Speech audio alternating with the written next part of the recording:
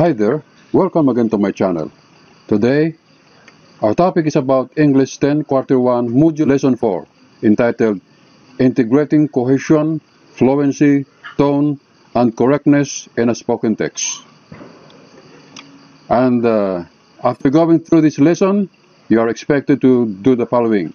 Assess spoken text based on cohesion, fluency, tone, and correctness, and also appreciate the importance of correctness in spoken text. But before we proceed, if you are new in this channel, please don't forget to like, subscribe, and also click the notification bell in order to be updated, and of course, please share also.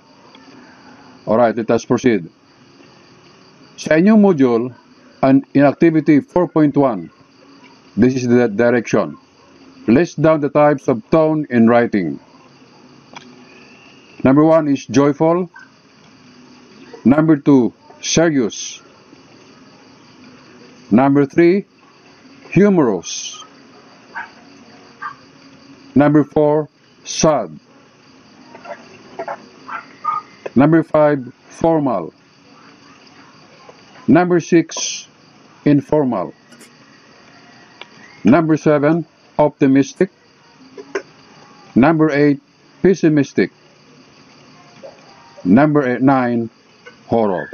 Alright, these are the feelings or attitudes that a writer should convey to the readers or viewers.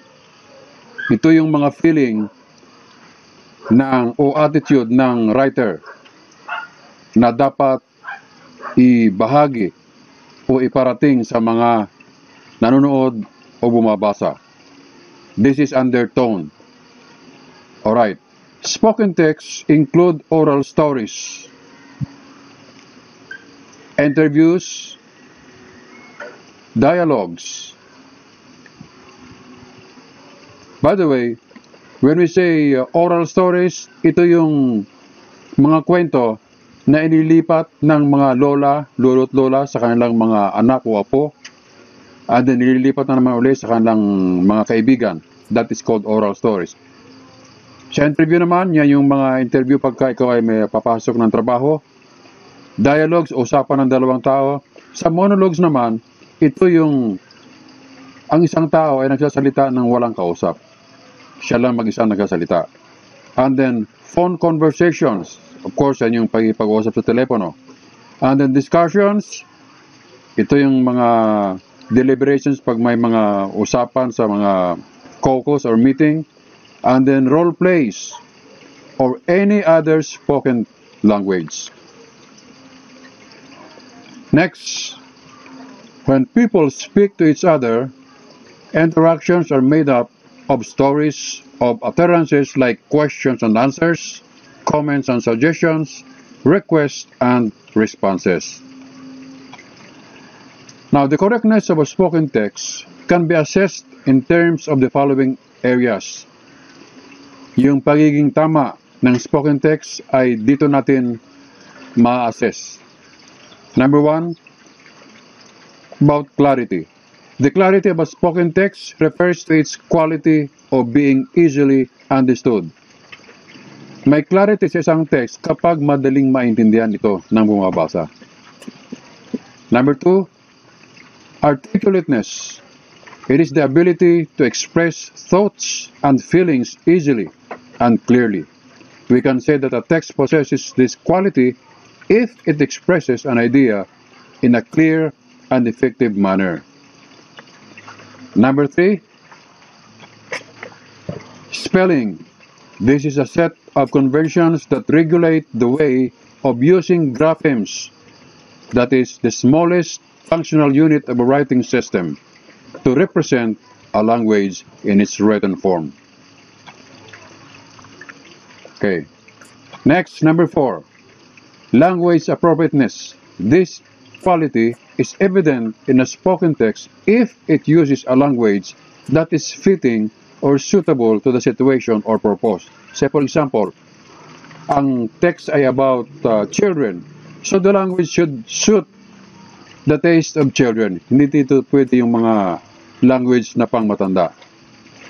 And also, if the uh, scenario is about old folks, the language should suit also the uh, taste of old folks. Hindi rito pwede yung mga language na pangbata. Next is grammar. This refers to the set of rules that explains how words are used in a language. Next is activity 4.3. In your module, here is the direction. Answer the following questions to show your learning from our lesson. Number one question, why should we observe correctness in writing spoken text? Alright, sa inyong module, walang answer dito sa keto correction. So I'd like you to just pause the video for a while and then copy the answer. Alright, here is the possible answer. We observe correctness in writing spoken text so that listeners will easily understand what we are saying. Number two question, how can we achieve cohesion, fluency, tone, and correctness in writing spoken text? Okay. Alright, here is a possible answer. We can achieve cohesion by using appropriate conjunctions in connecting ideas. When we say conjunctions, these are the words used in connecting words, phrases, clauses, sentences, or ideas, even from one paragraph to another paragraph. And usually, these are these are the conjunctions used: for, and, nor, but, or, yet. So, these are called fanboys. Ito yung acronym, fanboys. F for for, A for and, N for nor, B for but, O for or, Y for yet, and S for so, fanboys. Now, another answer, fluency can be achieved by means of writing with a natural flow and rhythm. The writer's feeling or attitude should be expressed in the text.